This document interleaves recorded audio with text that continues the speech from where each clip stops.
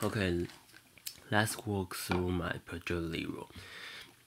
It's my personal website, and you can see here is the summary and my contact information. And, and let's look take a look at source code.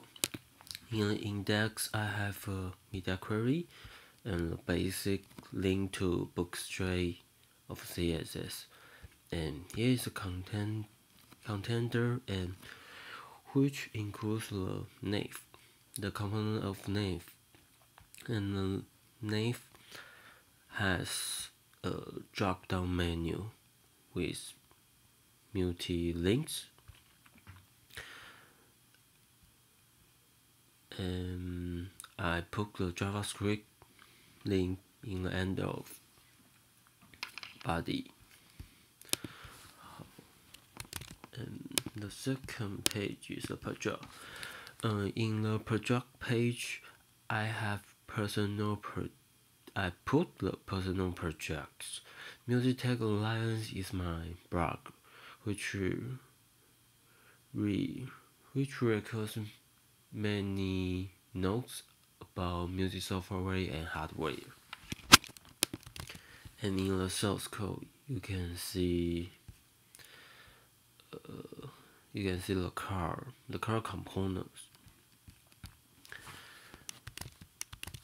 And the third page is experience. Okay, in the experience page you can see the timeline and the table. In the source code,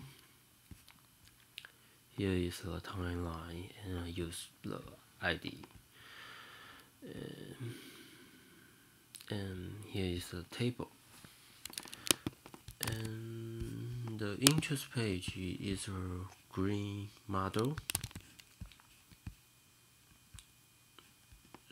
So okay here is the green how how how I call the green model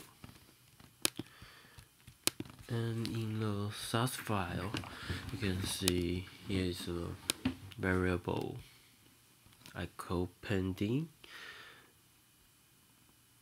and you can see the this is a example of nesting. You can see the ID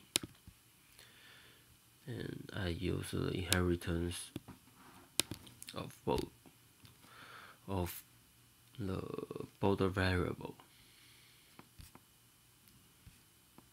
Oh no, the border. Yes, I set a border variable.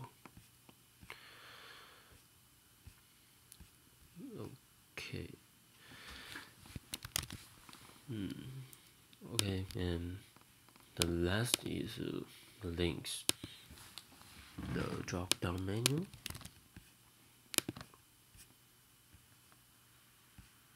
Here is the drop down menu.